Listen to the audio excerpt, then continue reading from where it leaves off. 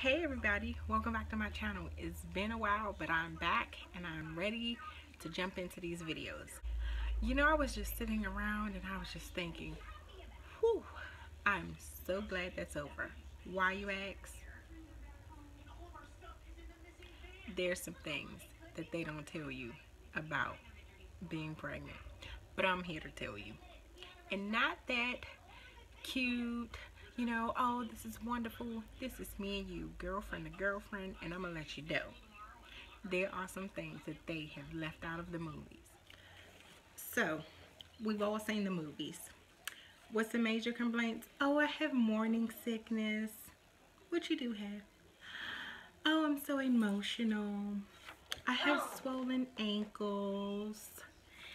I have a little bit of heartburn and I'm uncomfortable. Aww. Let's get into real life, honey. Morning sickness.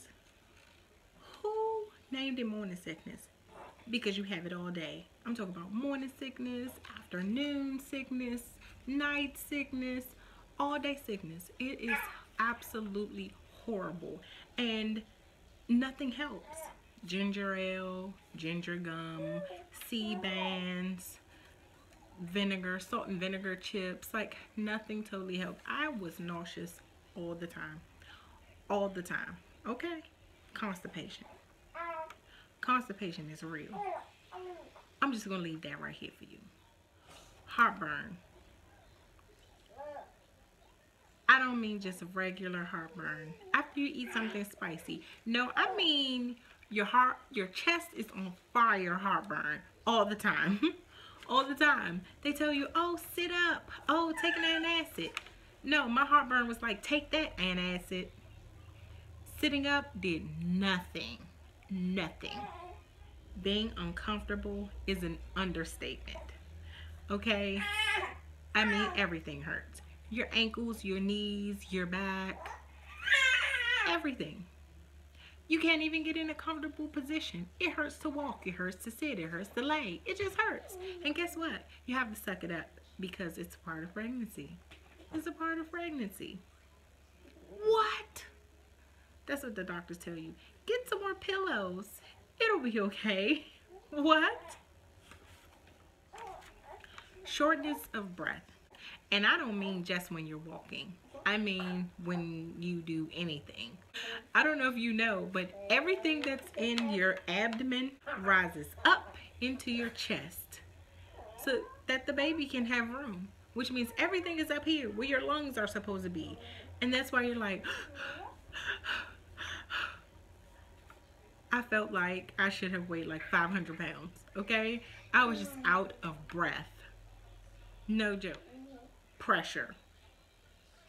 And I don't mean peer pressure. Let's talk about the pressure of the baby sitting on your... The baby feels like it's going to fall off your butt at any moment. Okay? At any moment. I just knew she was going to fall out. It was so much pressure down there. It was like a bowling ball sitting on the inside. Okay? Who knew seven pounds felt that heavy. Like seriously, when you lift up like a little dumbbell, it's like five pounds or, you know, a 10 pound dumbbell and it's like, oh, no, no. Try carrying that inside you for nine months. They don't tell you about this. Where are my real friends? Now, we all know your body does some weird things. We know this. And it did this I think with my son. It did it did it with my son. However this time around it was more extreme. Let's talk about dark nipples. Dark nipples and I don't mean just a little pigmentation. I mean dark like almost black okay? And I'm a brown skinned girl you know? So dark nipples was something new for me leaking boobs. I knew that your boobs would leak when you start to breastfeed. Who knew that your boobs would leak before the baby got here? And it did it in the most awkward place. I was in Target. I was leaning over the, the shopping cart. And when I stood up, my shirt was wet. Talk about embarrassing moments. Now, don't get me wrong. Pregnancy is a wonderful, wonderful thing. If it wasn't, I wouldn't have done it again. But there are some things that I wish my good girlfriends would have sat down and told me. So, if you just found out you're pregnant or you hope to be soon, don't say I didn't warn you. Come back to this video and watch it again.